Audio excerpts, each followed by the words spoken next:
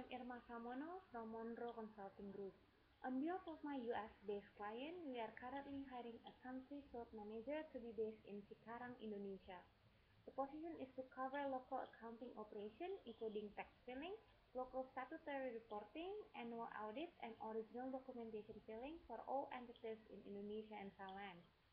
The winning candidate is also the owner of local GAAP compliance to ensure effective and streamlining local process.